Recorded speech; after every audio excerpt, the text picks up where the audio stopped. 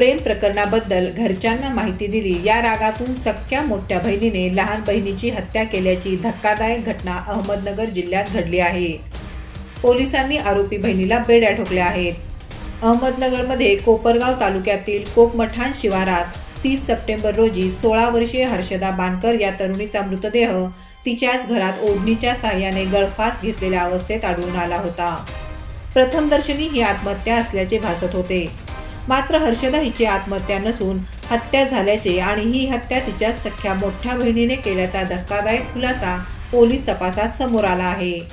मयत हर्षदाची एकोणीस वर्षीय मोठी बहीण सृष्टी बानकर हिचे श्रीरामपूर तालुक्यातील आकाश कांगुने नामक तरुणासोबत प्रेम संबंध होते. याबद्दल हर्षदा हिने घरच्यांना सांगितल्यानंतर घरच्यांनी सृष्टीला समज दिली होती. तसेच काही दिवस कॉलेजला जाऊ नकोस अशी सक्त ताकीद दिली होती. त्यामुळे सृष्टीच्या मनात हर्षदाबद्दल रागाची भावना निर्माण झाली होती.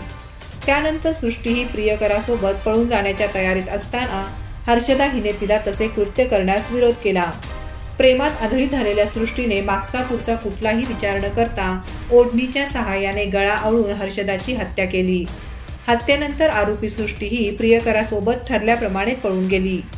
कोपरगाव पोलिसांनी घटनेचा सखोल तपास करत आरोपी बहीण सृष्टी आणि तिचा प्रियकर आकाश कांगुने यांना श्रीरामपूर तालुक्यातील खंडाळा येथून ताब्यात घेतले. शवविच्छेदनाचा अहवाल प्राप्त होताच मयताच्या आईच्या फिर्यादीवरून आरोपी सृष्टी बानकर हिच्यावर कलम तीनशे दोन प्रमाणे खुनाचा गुन्हा दाखल केला आहे. मात्र आंधळ्या प्रेमापोटी मोठ्या बहिणीने सख्या लहान बहिणीची हत्या केल्याने मोठी खळबळ उडाली आहे. दरम्यान या हत्या प्रकरणात सृष्टीचा प्रियकर तसेच अन्य कोणी सहभागी आहेत का? याबाबतचा अधिक तपास कोपरगाव पोलीस करत आहेत.